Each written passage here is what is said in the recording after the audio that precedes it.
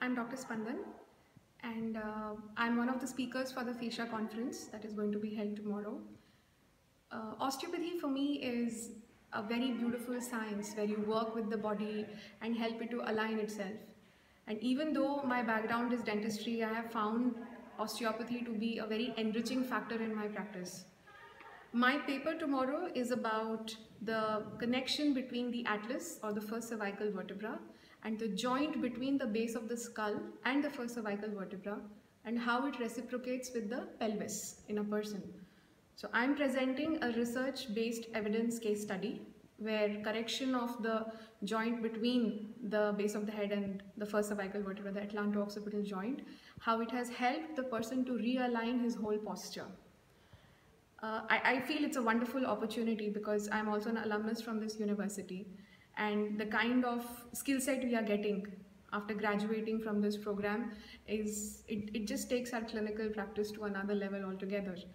So I believe that for all the medical professionals that exist, it would be, um, say, an eye-opener to come in and understand and learn about the connective tissue fascia that exists in the body.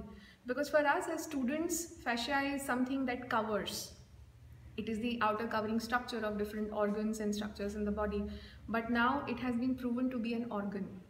An organ that has its own intelligence, an organ that performs many more functions other than being a structure that covers something. It, it helps with proprioception, it helps with temperature, helps with defense, immunity, communication, transport, so many things. And this conference tomorrow aligns with the neuroscience research that has been happening in the area of fascia in the past 8 to 10 years. And that also forms one of the basic foundation studies of the osteopathic medicine because when you're looking at the body as a whole, you also need to understand the enmeshed fabric that holds the whole body together and that's what fascia is all about. So please come for the conference. We have some amazing speakers coming in.